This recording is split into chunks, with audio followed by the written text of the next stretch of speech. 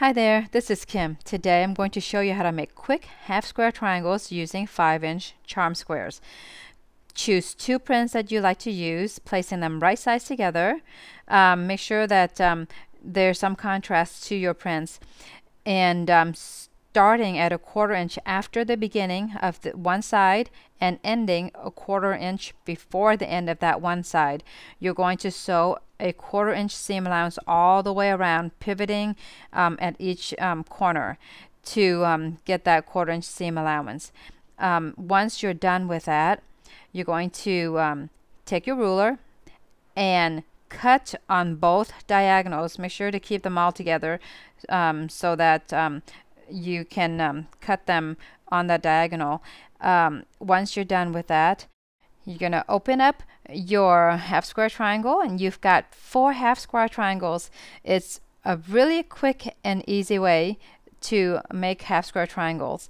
Um, I'm using a bone folder to press the seams open, but you would take yours to your ironing board and uh, press your seams flat.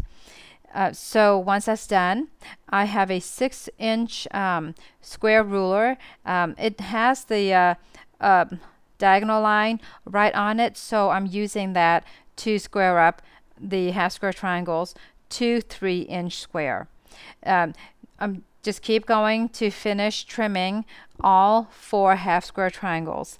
Once you're done with that, you know, there's little dog ears that's um, sticking out from your seam allowance um, I'm going to just trim that off once I have all of the half square triangles um, all squared away.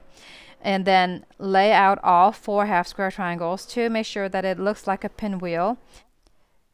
So once you're happy with the layout, um, you're going to take it back to your sewing machine and uh, flipping um, each row right sides together, you're going to sew uh, using a quarter inch seam allowance.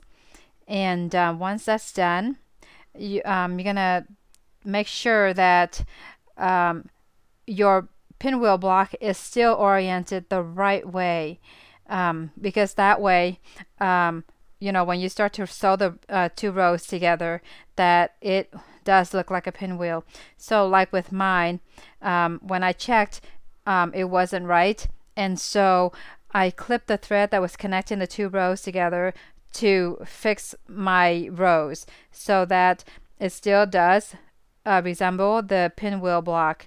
And then I just sew the rows together and um, um, at this point you want to sew um, I mean you want to press your seam allowance open um, to keep that center of pinwheel point flat and there you have it.